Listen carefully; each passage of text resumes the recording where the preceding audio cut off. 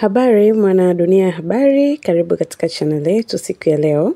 Tumekuletea habari ya kimuziki kutoka kwa mfalme wa muziki King Kiba. King Kiba weekend hii tumemshuhudia akiwa nchini Canada, Toronto kwa ajili ya ile festival ya Afrofest iliyokuwa imeanzia tarehe tano mpaka tarehe saba ya mwezi huu. Sasa weekend hii amekiwasha sana pale Canada. Jamani, ukiangalia kwa haraka haraka unaweza ukasema ni show za hapa Tanzania, yaani unaweza ukasema labda yuko Dar ama yuko Mwanza. Ni kama Tanzania kiukweli, watu wamejaa, huwezi ukaamini kama ni Toronto, Canada.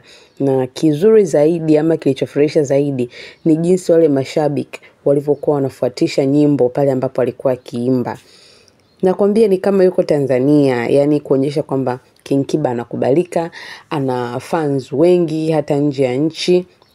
Watu walikuwa wameshika bendera mbalimbali za Tanzania zilikuwepo, Kenya zilikuwepo, Kongo zilikuwepo, manake ni wenzetu ambao wanaishi huko Canada walijitokeza kwa wingi kumsapoti mfalme wetu wa muziki kiasi kwamba ikatupa sisi hamasa wa Tanzania na ikafurahisha zaidi kuona kwamba kumbe muziki wetu hata mbele unakubalika, kwa sababu kama wenzetu walioko kule wanatuwakilisha vyema kutangaza muziki wetu, hivyo wanawabeba hata marafiki zao kwenye festival za namna hii.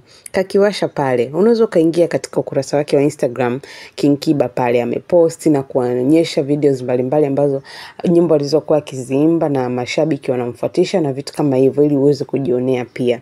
Amepongezwa na watu katika comments mbalimbali. Amejitokeza Bilnas kampongeza, akajitokeza Mwijaku kampongeza, yani kwamba kitu alichokifanya kwa kweli ni kikubwa. Yes, alikuwa kule Toronto, Canada, amekiwasha vizuri, ametuwakilisha vyema taifa letu la Tanzania.